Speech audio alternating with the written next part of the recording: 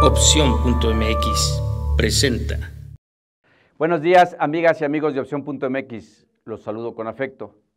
Conforme pasan los días y las semanas, los temas más trascendentes de la agenda nacional y de la capital del país son utilizados para el posicionamiento político electoral.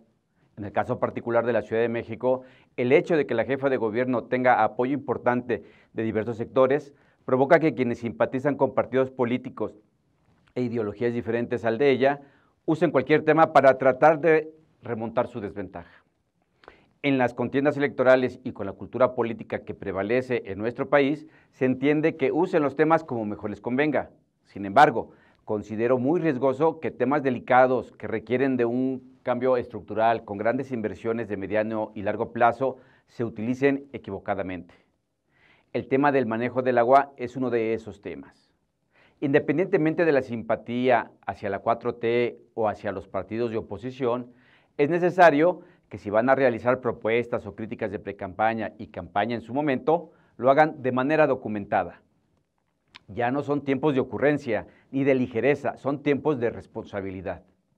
¿Cuánta agua queda para los siguientes años? ¿Cómo se van a mitigar las grietas y hundimientos de suelo como consecuencia de la sobreexplotación de los acuíferos?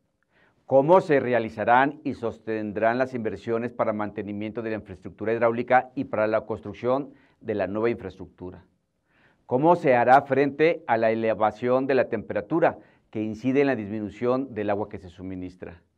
cómo se garantizará el acceso y distribución equitativa y sustentable del agua, es decir, cómo se garantizará el derecho humano al agua.